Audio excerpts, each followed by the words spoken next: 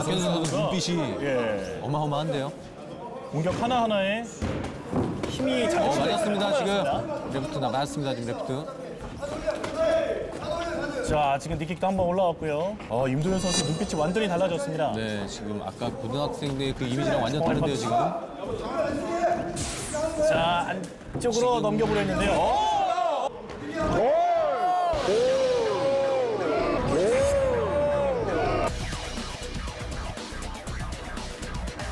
그렇지! 도현 일어나! 일어나야지! 도현 일어나야 돼! 치 좋았습니다. 어, 임도현 선수 대단하게 어, 세고 근데 백 있습니다. 잡혔어요, 백 잡혔어요. 올라가야 돼요.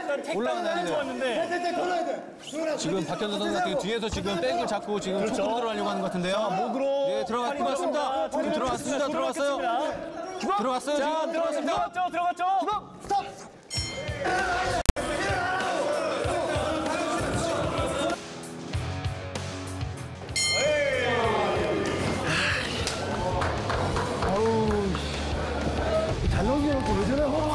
진짜 잘했다. 바보 같은 그래도 게. 깔끔했다. 아, 멋졌어. 너무 열받네. 어, 어, 너무 열받아요. 아, 잘했어. 잘했어, 잘했어. 잘 넘겼는데. 경기 결과 말씀드리겠습니다. 1라운드 47초 초크승으로 블루코너 MMA 스토리 박현성 선수 승리하였습니다. 축하드립니다.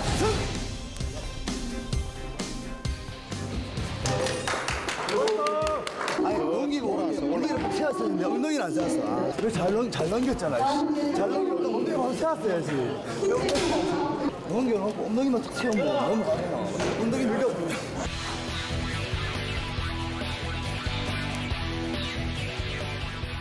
잘했어. 고생했어.